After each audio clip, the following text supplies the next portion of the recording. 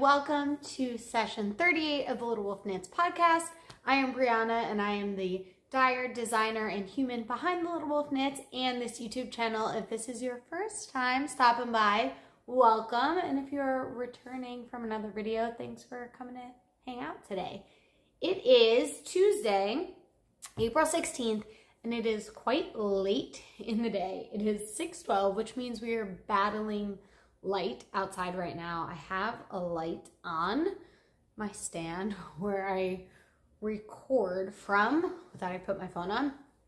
Um, and I don't normally turn that on because I don't think it gives the most accurate color representation, but I know we're not going to make it through this podcast without the light. So we have it on for now, and I'm going to be as quick as possible today to get through this. Um, I'm not wearing any knits today because it is so warm out.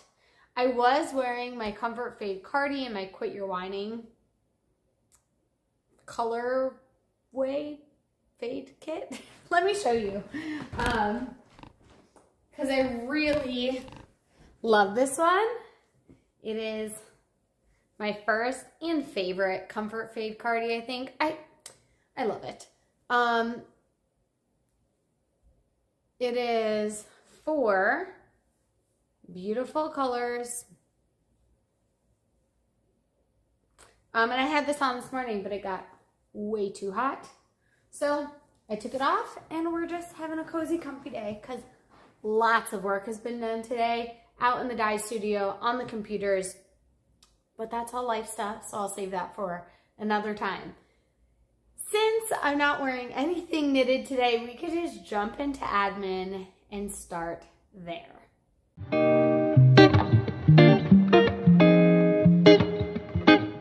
We still don't have any knit alongs going on, but like I said, don't worry, one is coming very soon. And I have two announcements to make. One is just a reminder, if you've been here for the last two videos, you've heard it already, but one is brand new. So it is New Jersey Wool Walk this week, later this week. By the time you see this, New Jersey Wool Walk will already be going on. I'm going to try and get this out on Wednesday, but we'll see. But I'm going to have two trunk shows during Wool Walk. I am so, so excited and I cannot wait to see some of you, hopefully, at one or both of them. First, I will be at Grace and Purl on Thursday, April 18th from 10 a.m. to 5 p.m. I'm bringing so much yarn. and then I will be at um, what was previously Balzac, which is now going to be the Creative Knot in Ocean Grove on Saturday, April 20th. Uh, again, I think around the same time frame, time frame, and I am so excited. So, so, so excited. I will be bringing all of the cereal box collection. I will have some beachy colors, some like staples of mine that are tried and true People love them every time I bring them anywhere. I'm going to bring a bunch of mohair and Suri that I had multiples of, which I thought was really fun. I'm going to be bringing a ton of sock blanks because those are always super fun for things like this for trunk shows. And I feel like before I get to trunk shows, I always get really nervous and end up grabbing a bunch of stuff on my shelves to make sure I have enough yarn, especially because I have two this weekend I want to make sure I have enough of what you all want. So I'm so excited. If you're going to be around at either of those places, Thursday or Saturday, let me know. Drop a comment below. Tell me your name. Let me know where you're going to be so I can make sure to keep an eye out for you. And if you happen to stop by, definitely come say hi. Even if you're not buying yarn, it's so much fun to talk to viewers. I'll bring some stickers with me so folks can grab one of those and yeah, I'll be so excited to see you all. I, I'll save the yarny things for later. So let's just wrap up admin there. No, online. We're just going to do in the shop now because it's quick and easy and we're right here. Uh, April clubs are still in the shop. We have Believe from Ted Lasso. I don't have them up here. That's why I'm not going to wait till later. We have Believe from Ted Lasso and Zion National Park for my travel inspired from the Open Road Club. We have Moana inspired countdowns for July, 15, 30 day, or single day options. Those are getting dyed up very, very soon. So if you want one, grab one now. We also have October Beetlejuice inspired boxes, 13, 30, or single day options on my fingering weight, sunfish, my DK 420, or a fiber option. And I am so excited about those. They're in the shop too. Folks are already starting to scoop them up, so make sure to grab those if you want one. And then last but not least, if you're watching this, it will be at least Wednesday, which means the cereal box collection is live. So, so excited. I'm loving these colorways so much. I am already using so many of them. I already have plans for the rest of them. And I am so excited to see how excited all of you are for some of these colorways. If you have a favorite colorway, drop it below. Tell me your project plans. I'm super excited to see what everyone grabs and makes with these colorways. Can I say excited or colorways one more time? I don't think so. I say we call it, and let's talk about some of the things I finished, because if I'm being honest, it feels like these two things are a bit of a stretch.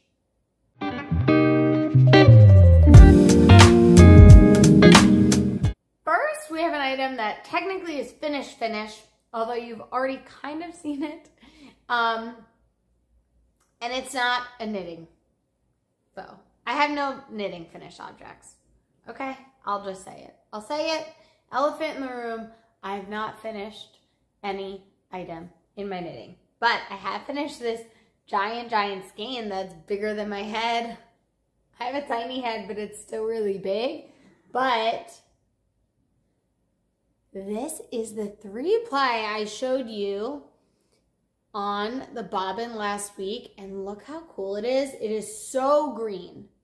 It is so green, which I like. It's like that acidy green, um, but it's just so, so different than what I thought it was going to be.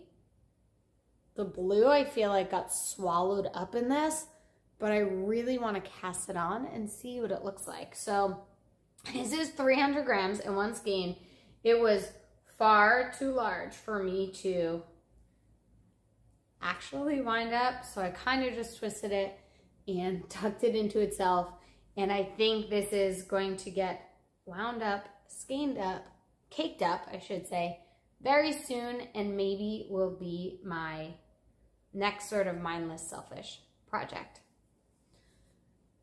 I should do it sooner than later because it's going to be summer soon. it'll be next. But look how much it bloomed.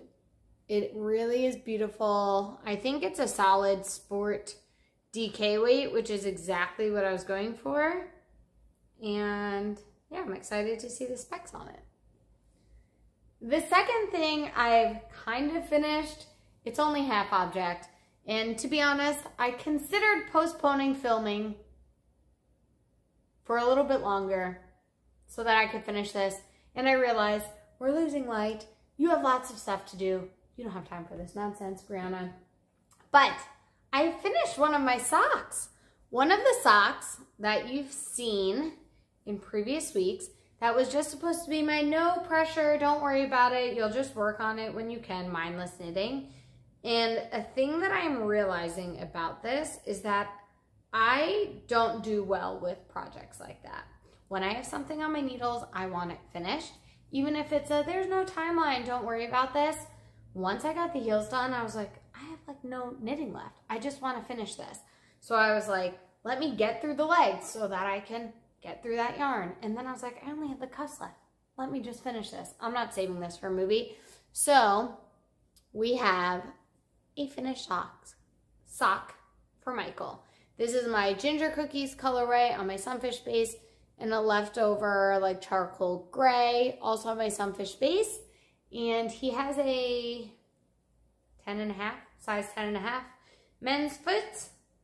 I actually knit one of these socks way too long and then worked the entire gusset. Last week you saw that and I realized this is too long. So I frogged back the entire gusset and like 15, almost an inch, I think um, from the foot and then reknit the entire gusset. I don't remember if it was this one or the other one, but I finished one. So that is the closest thing to a finished object you're gonna get today, and I hope you're okay with it. I have been doing lots of knitting. I have been working on lots of things. I've just been working on lots of things, so nothing got totally done.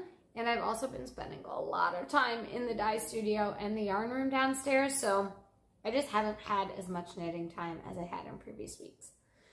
But let's talk about some of the other things I've been working on because like I said, there are a bunch.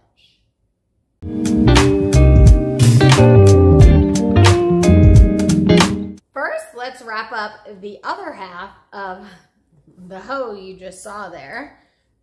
Um, and this is, mm, I love this well wash bar so much. Blackberry, sage and blackberry, Duff Woolens. Um, this is, took my little sheepy off. Oh, so blown out. A little sheepy. And this is the other sock. Look how far I am. I'm halfway through the ribbing. I think I did 20 rounds on this one. I should count and make sure. 1, 2, 3, 4, 5, 6, 7, 8, 9, 10, 11, 12, 13. Um, I think I did 19 and then the super stretchy, surprisingly stretchy bind off. And I think I have 10 done here. 1, 2, 3, 4, 5, 6, 7, 8, 9, 10. Isn't this the riveting content you all wanted? But this is to be done in a minute. I love this chocolate chip cookie charm. And yeah, I used all of ginger cookies. I still have a bit left, maybe 20 grams or so left of this like dark grayish black. So I will put it back in my leftovers bin and use it for probably more heels, toes, and cuffs on another sock. And this is, as always, in my horse feather fiber bags. So lightweight, smells so good. Perfect size for a little sock or something portable. And this will probably be coming with me for the rest of the summer because I love this bag so much. So that's WIP number one. WIP number two is something you've also seen that I've made a decent dent in, but honestly, I didn't get as much on it done as I thought I would, probably because I put so much work into these and some other things here. If I had only focused on this, it definitely would have been done. I'll, I think I also have another reason why I've been sitting on this a little bit, but I'll talk about it in a second. This is in my beautiful sister Heather style bag that goes over your arm, like sort of bunny bag style, super cool. And inside of it, I have my, this is how I like to use this bag, um, kind of like a yarn bowl now. I have my Follow Your Nose mm, mm, mm, blown out Fruit Loops colorway on my sunfish base and my headphones that are constantly on. Why are they always on? That's so frustrating because then they're always dead. Um, I have Wool Sniffer in here, which is such a nice scent. And my project, which is on very tiny needles. So it looks really small. I promise it's not as small as it looks. I'm making a 32 size bust. It's just scrunched up. But this is where you saw it last, if you see that banana right there. So I have put several inches on the body, maybe three or four inches on the body. And I put on a neckband and two little armhole ribbing sections. So I wanted to make sure I'm using as much yarn as I can for this project. Um, and I wanted to have the entire top finished. Then I would also get a good sense of fit. And now look how fun the pooling is. Now that we're going around and around. Um, it's almost like micro striping, which is super cool. Michael's downstairs if you just heard him sneeze. Um, but the plan is to do a few more inches in the round. I have a good amount of yarn left probably 55 grams, I, I believe, somewhere around there, 50 grams. is to work until I have about 20, mm, mm, mm, maybe 20 grams left. Mm, maybe 25 grams left straight. And then I am adding shaping to the bottom of this and it's going to be really cool. So the top is going to be shorter and then I'm going to use short rows to shape it. Um, so the back, like, so it goes like this, longer and around for the back, sort of a high-low look. I'm super excited about it. And I think I've also been sitting on this because I know once I'm done with the body, I need to have the math done. But this is quite silly because the math will be very easy. It's very easy. I've already kind of done it. I need to know the total number of stitches divided by a certain number and then figure it out from there. It's very easy. I'm just sitting on it. So I think I will do this tonight. My plan is to finish this second sock as soon as I'm done with this podcast. Then I'm going to make dinner. Um, and then do the math for this so I can be mindlessly knitting on this during our movie watching tonight, which is going to happen at home instead of the theater, which I'm excited for. Um, so that is WIP number two. WIP number three is another knitting WIP, and it is one you have not seen yet, but I'm very, very excited about it. So I have another project back in my Tanny Casey bag, and I love this one. This one's also probably gonna stay out throughout most of the summer and warm weather. It's a little larger, um, which is perfect. I feel like some of my summer bags get very tiny, but this is perfect. And in it is a totally new WIP that you have not seen before. I will show you, grab the one skein that I'm using. Um, the yarn, whoa, whoa, so blown out. So this is my Desert Bloom colorway on Suri. And this is one of the exclusive colorways that I created for the Cloudscape sweater scarves. And this one is for Courtney of I Love Tinderbox. You can see it has like greens, pinks, mauves, tans, oranges. Um, it's really, really beautiful, although it's getting quite blown out here. And I'm using it to make a Cloudscape sweater scarf I needed something mindless and I needed something on shorties this past weekend. I'll talk more about it in life stuff. But I had nothing that fit that bill. So I decided time to cast on. So before um, we headed home for the weekend, I just wound up three skeins of this and I am going to make this for my mom for Christmas. She has really, really wanted one. And this feels like her color palette. I wasn't so sure. So the other day, actually, when I was working on it, just left it on the table because I knew she would say something about it. Usually yell at me to put my stuff away. But she goes, oh, this yarn is really pretty. Is this the yarn for that scarf that you've been posting? I said, yeah. She goes, oh, it's beautiful. I was like, thanks. So I'm glad she likes it. And again, blown out, but I have done several inches on the cuff, which is just one by one rib. It looks a little different than the pattern. I'm doing the knit version, which is, again, Knititudes Cloudscape Sweater Scarf. The knitted version, um, she actually works it flat and then seams the cuff. And I was in no place to be doing that. I just didn't feel like it. I know seaming adds some structural integrity here. And I know that the core of this yarn is silk which adds some of that integrity back in.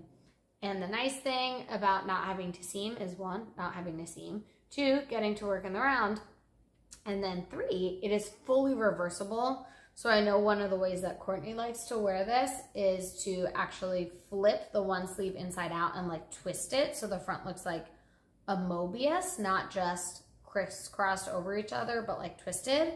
And now there will be no seam to do that. I know with fluffy yarn, you can't really see the seam anyway, but I'm really excited about this.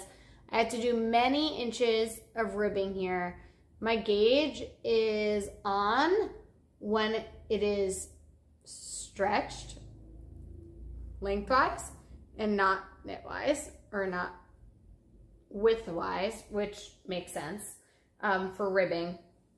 So I'm just making sure to keep it stretched this way not stretch it out too much widthwise. And when I block it, um, I know it'll be awesome. Look at the pooling too. It's so much fun and it's really subtle.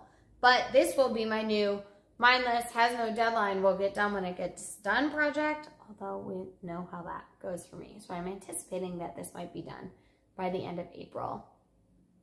Um, but once the cuff is done, then it is truly working back, stockinette, flat, knitting, purling, pretty mindless. I'll be able to do that mostly in the dark, movie knitting. It'll be a little tricky with the Suri being slippery with metal needles, but again, lots of stuff happening in the next week or two where I'll just need mindless knitting and this will be perfect for that.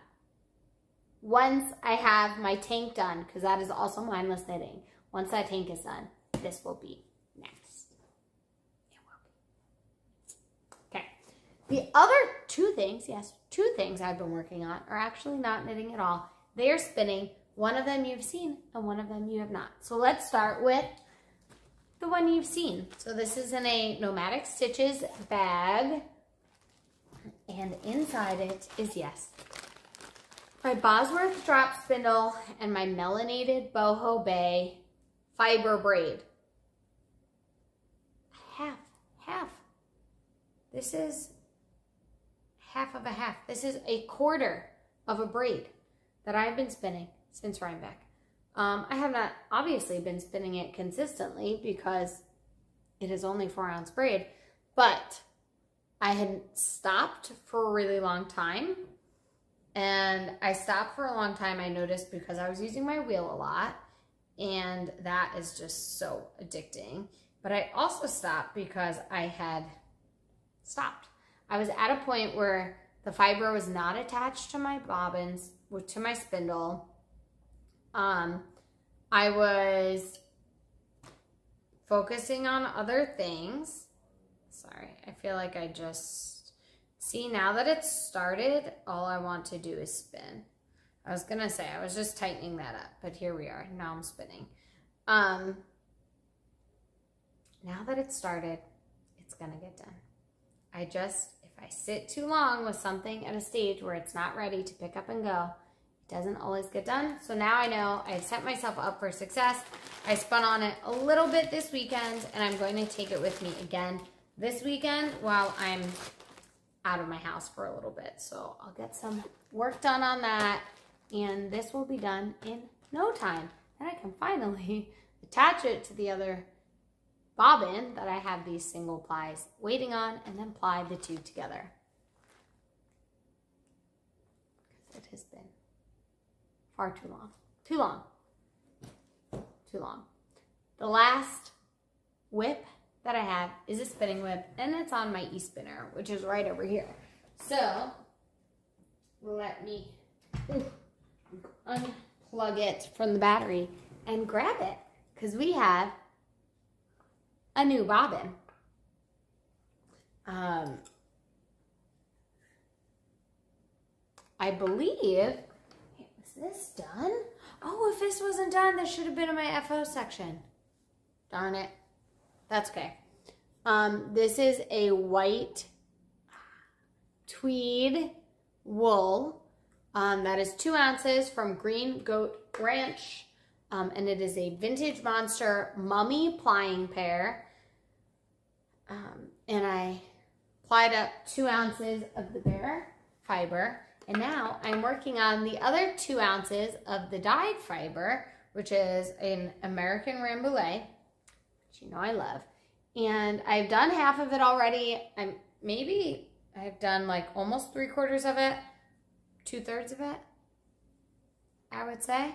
And this is all that I have left. Once that's done, this two ounces will be completed. It'll rest and I'll apply these together.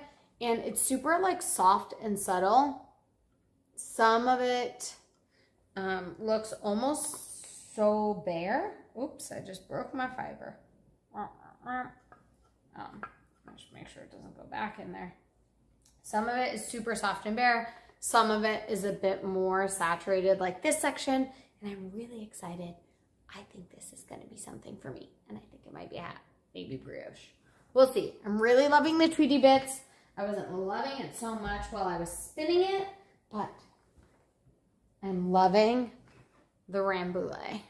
And that will be done tonight, tomorrow. We'll see.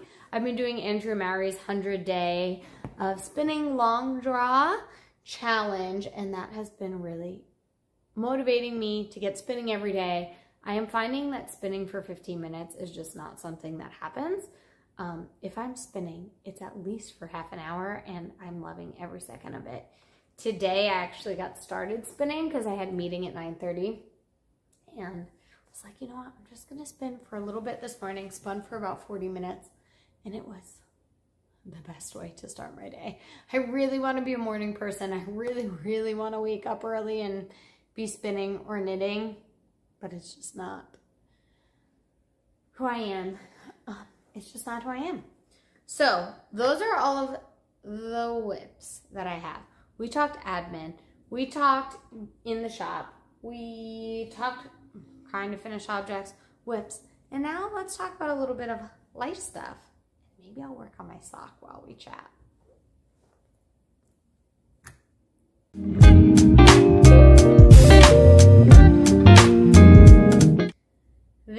Actually feels like a bad idea to be chatting about life and knitting at the same time because I think what's going to happen is I'm going to be enjoying my knitting and just get kind of rambly. So should I do it? No. Am I going to? Yes, because I want to finish this cuff.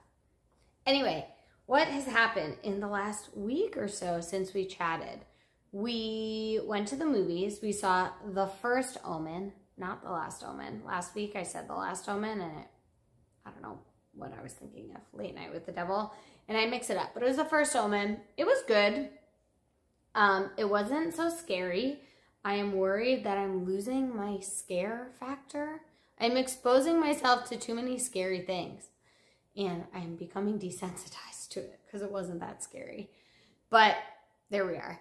Um, I we've been watching House of Dragon, House of the Dragon, and we are almost finished with season one. I think maybe we have an episode or two left. Um, so we watched a little, I think, last week. I've been, again, spending a lot of time out in the dye studio and in the arm room downstairs, so we haven't been doing as much relaxing and hanging out as we otherwise would, but I'm excited to get back to that soon. Um, so we watched a little bit of that. I finished reading The Turn of the Key, and we had our book club chat about it. That was on Wednesday. I liked the book. I really liked how it ended. Um, and I thought it was a good book. It was a slow burn, but I definitely am interested in reading more Ruth Ware, just not right now. I already started another book. I picked up, I had in my Kindle already. I bought most of her books when I decided I loved her so much. Um, I'm reading Such a Quiet Place by Megan Miranda, who I love. And going from Ruth Ware to this is wild because I think it took me like a week to get 50 40, 50% into the Ruth Ware book. And this is taking me like three days. And I'm well into this book. I'm loving it so much, even though I'm not spending that much time reading it. It is flying. Um, we Thursday, what happened? Friday, my best friend got married, Jenna Rose. I've talked about her a little bit on here. You've seen her in our Soup Saunter video because she officiated our wedding and has come out to Bethlehem to hang out with us. And we went on a Soup Saunter and she learned to knit and she got married on Friday. It was so, so much fun. We saw a bunch of college friends who I haven't seen in 10 years, in a decade since we graduated. Um, and it was amazing. It was so awesome to just see them and like pick up right where we left off. Um, and remember inside jokes and chat about things and catch up. It was really, really fun. Um, so we did that Friday night. I did so much head banging. I hurt my neck. my neck was really sore and then I was taking so much Advil all weekend long. My stomach started hurting. So I was icing it and heating it and it finally is feeling better days later. Saturday, we woke up, we had brunch, we said goodbye to everyone at the wedding, and then we drove home to New Jersey to help my sister do a little bit of moving that she's doing. Just move some furniture actually from her old apartment. Um, it's not going into her new apartment. It's going back to my mom's house. So we helped bring some of that back to her house. Hung out, um, went to this awesome diner spot by us, and then we went bowling Saturday night with my mom. And it was so much fun. I love bowling. I was also very sore. My legs, my neck, we danced all night at the wedding. And um, I broke out, we all broke out a few of uh, Just Dance moves. And if you play Just Dance and you know Rasputin, I was doing the like from the floor dance. So my quads were killing me. My neck was killing me. I took a nap on Saturday, which if you know me, I never do. And Michael woke us up and was like, we gotta go. Your mom's going to the bowling alley. We gotta meet her. So we went bowling. It was super fun. I actually did very well, which was exciting. Um, I brought my own ball. I have a ball from when I was little. Um, otherwise, I have a really hard time finding a bowling ball because I have very tiny hands. Um, but we did that until I was sore and we ran out of time. We went home. We watched a little bit more House of the Dragon. And then Sunday, we woke up. I was still sore.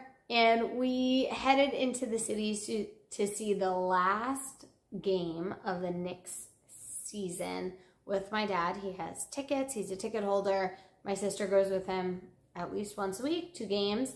And he had four tickets. He had two open. He asked me and Michael if we wanted to go see the last game of the season. We said sure. We went. It was such a good game.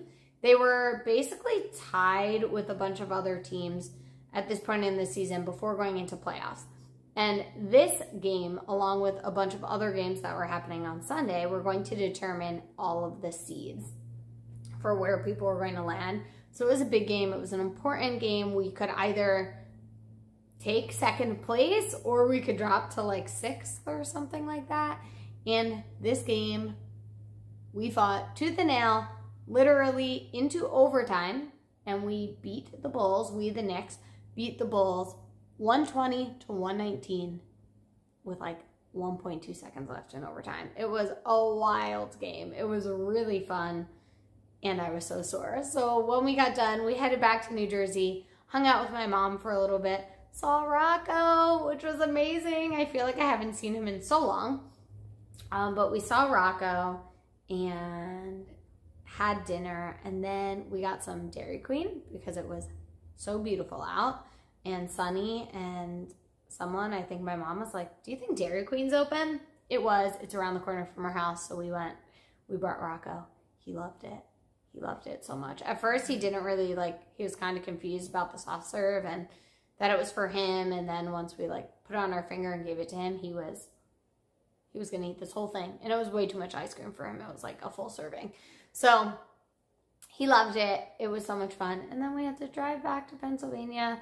We get in the car. It was downpouring, like torrential downpour storms the entire ride, which was not so fun for Michael who was driving. And then, yeah, I've just been doing a lot of dyeing, finishing up our last dye day for the trunk shows was yesterday. So this morning was rinsing, washing, hanging. Last night was a lot of winding, writing tags, getting everything ready, getting everything inventoried. I'm going to put that um, online tonight, online on a on a Google Doc so I can access it when I'm at the trunk shows tonight. And then just a bunch of knitting, pattern edits, updates, things like that. It is still so warm out. Michael um, mowed our lawn yesterday because he had not yet and it was getting out of hand between the warm weather and all the rain we'd had. So he finally got out there and did it and I know he hates that, but it means it's warm and sunny and it's a season that makes me very, very happy. Um, we were just saying we need to get some things in our planter box and our garden boxes outside, but we haven't done it yet because um, we were still having some frost and weird weather, but it seems like maybe we're good to go at this point. And I think that's all I got. I'm getting rambly now because I'm just knitting and chatting, knitting and chatting. I'm going to go make dinner. I'm going to go make some pattern edits. I'm going to finish this cuff because I'm pretty close. And then I'm gonna go prep some yarn as we do for a trunk show and for the yarn release tomorrow, aka today. This is so exciting. I'm really excited for it. So there are lots of things to prep, lots of things to do, and I'm gonna go get to it. I really wanted to finish this row. I'm going to. To tell you how many rows I've knit while we were just sitting here chatting. Because wouldn't it be great if I was ready for a bind off? I don't think I have, but I might have done four, three or four. Let's see. I was at 10, right? One, two, three, four.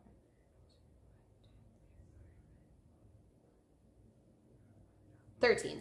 Okay, I'm getting close. Oh, how cute. I'm getting close, but I'm to go do all the things I need to do. And I will talk to you next week. Take care of each other.